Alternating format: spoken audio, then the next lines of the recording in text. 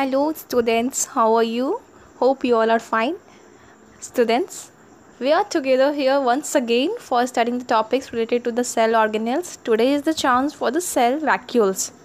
We have already seen the diagram of the cell in the previous videos that it contains a vacuoles. The plant cell, the vacuoles are large in number.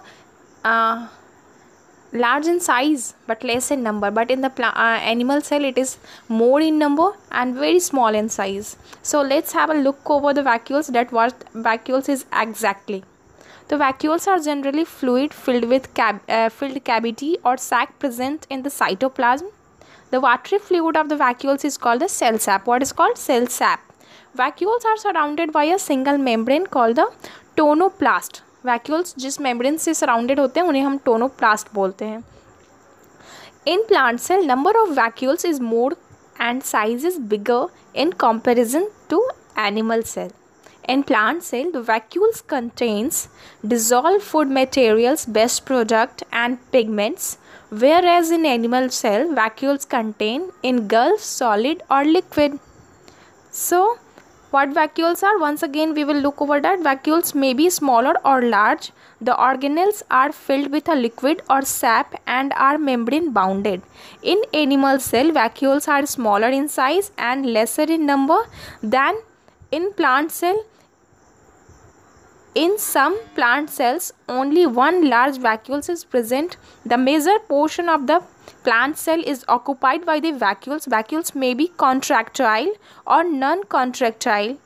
When the pressure of the concentrate uh, pressure of the contents of a contractile vacuoles increases, it contracts and releases its contents. Yani it will work for the function of excretion. Just like the excretion excretory organ kidney is working that um, same as inside the cell the vacuoles are doing the same work. So after this uh, knowing about all these things that what vacuoles is uh, we can define it on the basis of this that is it membrane bounded or not what its shape uh, what duties is it performs. But now the time is for the knowing of function of the vacuoles so please continue for knowing the function the function of the vacuoles are vacuoles helps to provide turgidity and rigidity to the cell. Vacuoles act as a storehouse of the pigment and waste products as well as the useful minerals and salts. In unicellular organism like amoeba, the food particles captured by the pseudopodia are engulfed in the vacuoles which is called the food vacuoles. Okay. So these are some basic interesting fact which you should know about the vacuoles.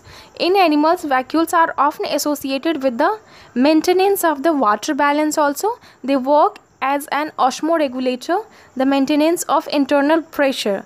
They store various substances including the best product, hence they are called the storehouse of the cell. So here a most important question comes in front of you all that why the vacuoles are called the storehouse of the cell. So now i'm very glad that you can give the answer on the basis of this video. After reading it please put it down in the comment that why it is called the storehouse of the cell.